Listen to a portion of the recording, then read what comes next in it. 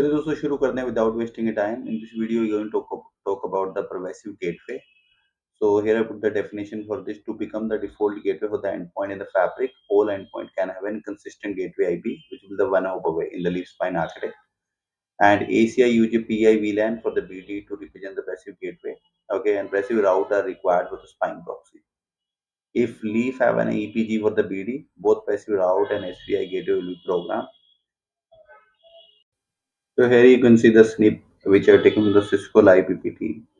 In this, uh, we have configured the BD1 under this tenant. On this BD1, you configure the two subnets. Subnet 1 is 192.168.254 and second subnet is 192.168.1.254. Okay. And when we are checking a route in the show IP route VRF under a tenant and VRF1, okay, with the BD part, BD1 is the part, okay. Here you can see this is how you look like with the pervasive route.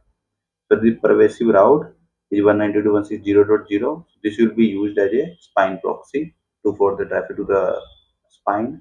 Okay, and we already understand. Uh, we have covered the spine proxy, but how spine proxy work in our earlier video. And this is how the pervasive uh, SVI look like. And this VLAN is the uh, your uh, PI VLAN for the BD. Okay if what if no pervasive route no remote endpoint so here you can see that this endpoint c endpoint e want to communicate if there is no contract is applied okay? So on the leaf when there will the only these are the routes which leaf have an bd and epg there on the leaf.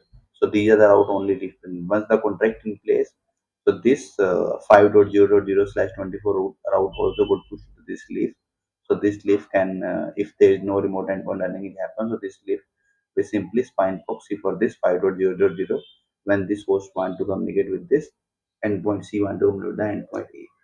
So basically we can set this with this help of pervasive gateway with this function. So we can uh, save the routing table rib, rib size on the leaf. And these are the few traffic situation which depend on the L2 LT traffic and the BD setting. So we have for the L2 switch traffic where the destination is uh, unknown MAC, okay, if leaf does not have an entry for the destination MAC. So in the case of L2 unknown unicast option, if we have uh, BD may need to be set to flood because with the option of uh, hardware proxy setting under the BD setting, L2 traffic will be dropped by the spine if there is no entry for the destination MAC in the database.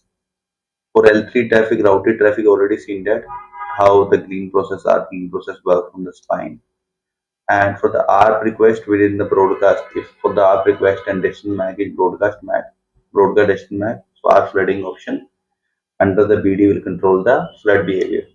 So if the ACI in the AC fabric if you have enabled the ARP flooding, so that flood will be the in the under the BD on that under the BD only.